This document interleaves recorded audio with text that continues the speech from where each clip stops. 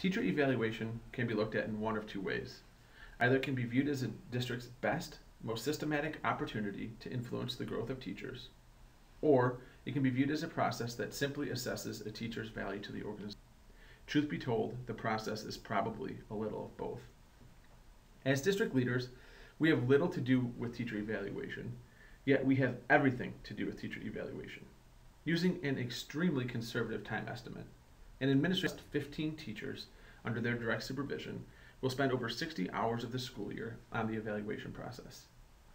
When I talk to my principals and principals I work with in other districts, I consistently hear how time intensive the process is and how much stress and anxiety causes for our building leaders.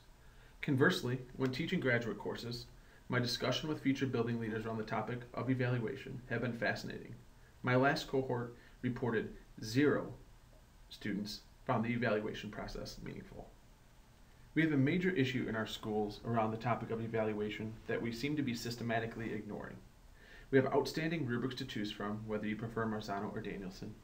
We have statutory guidance on how to implement a database segment of teacher evaluation.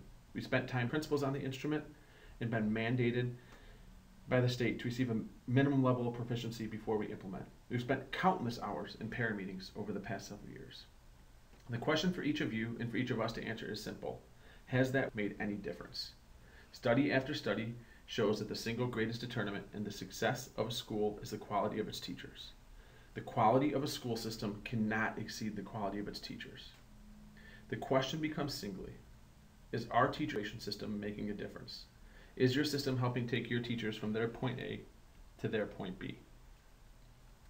My honest opinion after working with a multitude of districts and superintendents is that most of us simply cannot answer that question.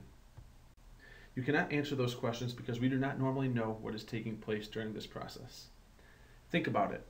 We would all label ourselves instructional leaders, but during the one opportunity we have as an organization to systematically impact teacher growth, we're usually I have five suggestions that can help superintendents move from absent to profoundly present during the teacher evaluation process.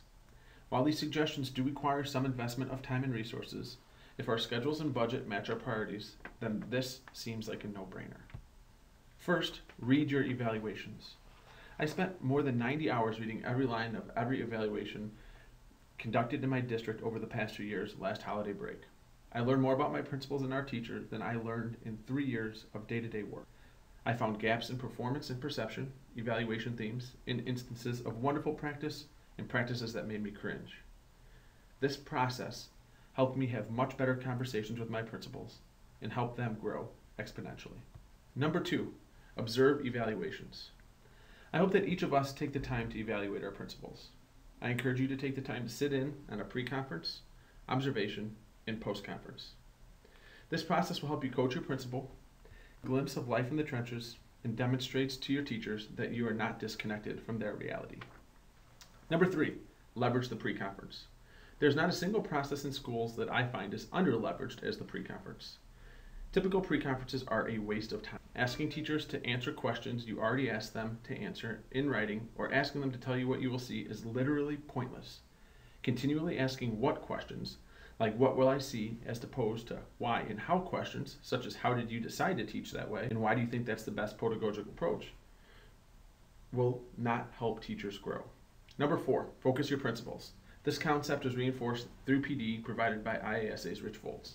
If you are using this, the Danielson model, there is so much on it becomes hard to focus. Often the forest cannot be seen through the trees.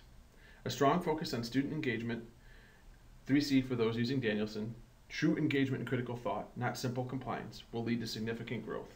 Becoming an expert in all 22 areas can be too much. Becoming a master of one is a much more palatable challenge. Number five, create a system. As a superintendent, you simply cannot do every teacher evaluation. That said, we do have a responsibility to lead this. Creating a system, providing PD, and having some type of principal accountability measure for this process is a requisite part of our job. It is the most systematic way we can influence principal growth so that they can influence teacher growth. Finally, conclusion, let's not just talk a good game about being instructional leaders. Let's commit to it, let's invest our time, let's invest our resources, and truly make a difference in our schools.